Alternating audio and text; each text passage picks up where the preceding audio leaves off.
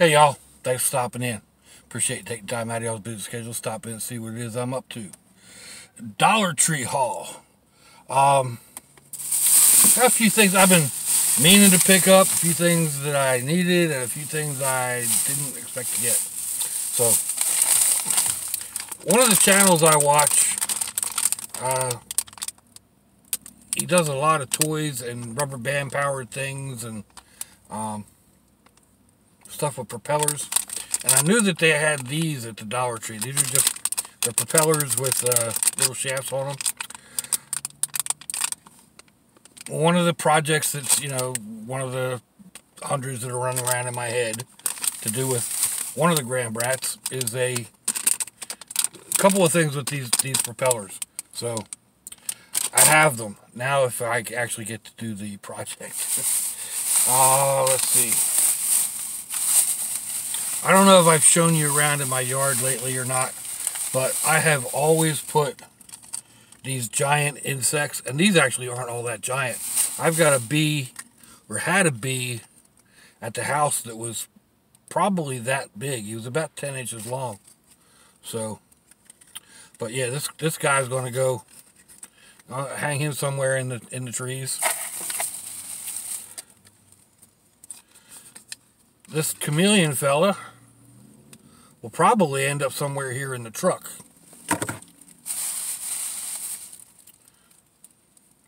The grasshopper, I think he needs a little bit of coloring. He's just all green.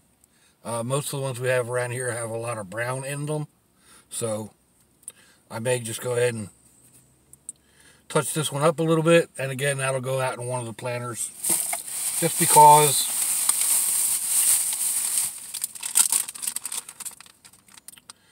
Dory Glow decals. I'm thinking these may work pretty well at night when we're out camping. And we're headed out camping this weekend. So I'm to let them charge in the in the sunlight. Now I picked this up. Fire roasted jalapeno salsa. I hadn't seen it before. I don't know if it's something new that they have there or what, or it just happened to catch my eye today. But there's that. And when I had picked up the Grand Brats earlier, uh, I've had the little with me. We stopped at BK and got some uh, chicken chunks, nuggets, whatever the heck they are. And he didn't eat them all. So I'm going to go ahead and put those nuggets in this with a little bit and, and like, you know, heat it up a little bit, maybe some peppers and onions and whatnot. And, uh, yeah, just see what happens. So I think, I think that'll turn out to be pretty tasty. Oh, funnels. I don't know what happened to my funnels. Um, and probably as soon as I get home, I'll find them. Isn't that the way it always goes? But I've been making a ginger, an, inf an infused water with ginger. Just uh, taking grated ginger and putting it in a bottle of water and letting it soak. And uh, I've been drinking that instead of ginger ale.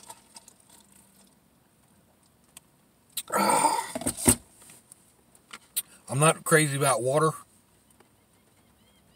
The ginger gives it a fairly, a pretty good taste to it. It's not it's not spicy spicy. But I definitely get the ginger flavor. Anyway, in order to strain it, I needed a, a funnel that fits into the two liter bottle. Uh, I also needed my hash makings. Um, depending on what they have. Right now they have Easter colored uh, M&Ms as well that are just plain milk chocolate. Doesn't matter. Um, I just grab what I'm going going to grab, you know.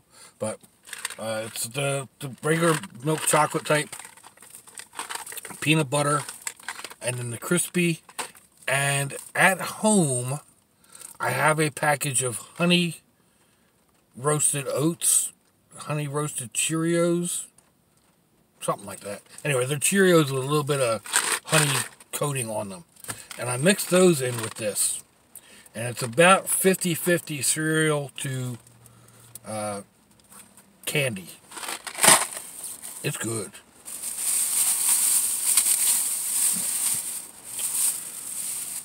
Hand soap for the bathroom. And then I've mentioned like I mentioned we're going camping this weekend. Um, this is good to have just in case anyway. I have I have two rolls of paper in a in the small plastic uh, coffee jugs. One roll of, of tissue fits in that jug with no problem. Um, and it, it's you know it stays fairly dry and, and safe and whatnot, and it's always back there. The problem is it's not real convenient. I was talking to a friend on Instagram, and he carries this when he's out camping. He goes he goes out camping in um, like like boondocking in, BLM land where there's there's nothing nothing nothing around. So he carries a roll or a package of this and a small shovel. And, uh, yeah. So, anyway, I figured I would grab these and have them in the in the vehicle, uh, maybe in one or two of my bags or whatever.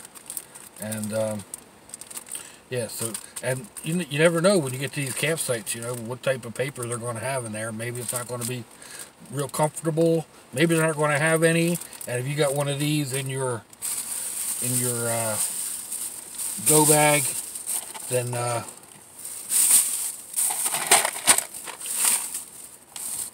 you, it's better safe to be sorry than sorry. I guess is what I'm trying to say. So anyway, there's uh, that, that, that. Uh, there's that. All right. So there we go. It's just a quickie. Let me know what you think. Give me a thumbs down or thumbs up. Leave me a comment wherever it is y'all leave comments on your internet access device of choice. Oh, excuse me. If you like to share me around to your social media, that'd be fandoculous. If you want to check me out on Facebook or Instagram, I'll have some links in the description box along with other uh, links to other uh, similar videos and whatnot. And, uh, man, the rain's coming down. I want to run into Goodwill. I've been going to the YMCA here lately, and I need a, a gym bag, basically. I, everything I got are backpacks or messenger bags or, or whatever, and you can't fit fat man clothes in those type bags. so, anyway, uh, I'm going to run in here and see what they got. And maybe, I don't know, I'll end up doing it not today or something, but means I got to brave this rain. Y'all hear it? Yeah. Um, if your loved ones are nearby, give them a kiss and a hug. If they're not, give them a call. Hit them up on Facebook. Let them know you think about them. Let them know you love them. We ain't promised tomorrow, people. We ain't promised our next breath. Till I see y'all again, I hope you have a fandoculous day. Sláinte, y'all.